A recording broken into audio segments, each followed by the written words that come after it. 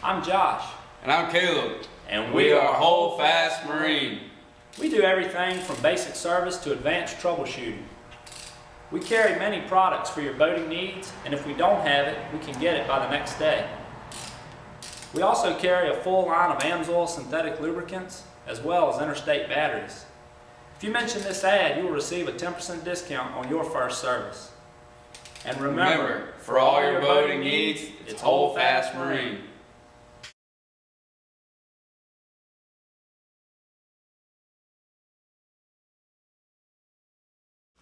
Hi, Ed Smith coming to you from the thebasscast.com again with another tip.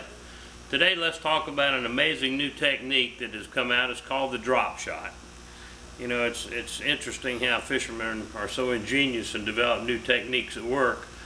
Uh, when this one first came out, I was skeptical.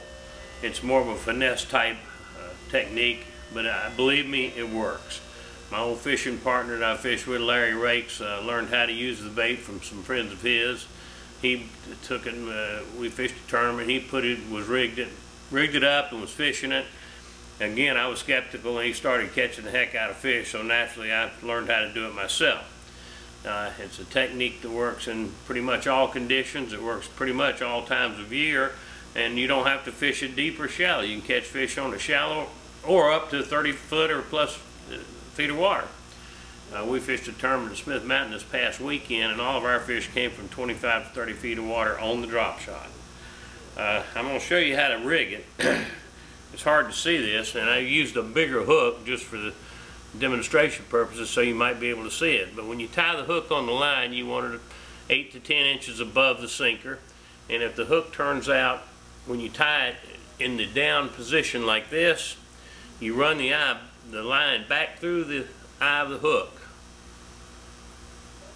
and pull real tight on the end that the sinker will be on.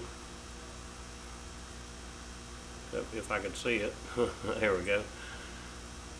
And it'll turn the hook over. Like that. And that's the way you want it.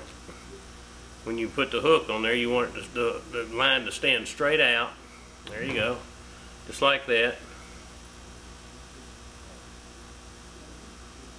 And when you put the hook, the line, when you put the worm on there, it'll stand straight out and above the sinker like in a suspended fashion. The technique, you put the sinker on the bottom. We use a sinker called, uh, that's made specifically for a drop shot. It's got a little piece of wire at the end of it. You tie it, run the line through it, and it holds the sinker on the line. You don't have to tie it on there. And the, uh, the theory behind it is, if you get hung up, you lose the sinker, but you don't lose your line and the, and the lure. Uh, the bites on this bait are subtle. You don't really hardly ever feel a bite. You, you throw it out, you work it back and shake it a little bit, and work it a few feet, you shake it a little bit, and work it a few feet, you shake it, and then when you go to move it, it'll either feel mushy, sometimes they'll swim off with it, most of the time they don't. It's just a heavy feeling on the line.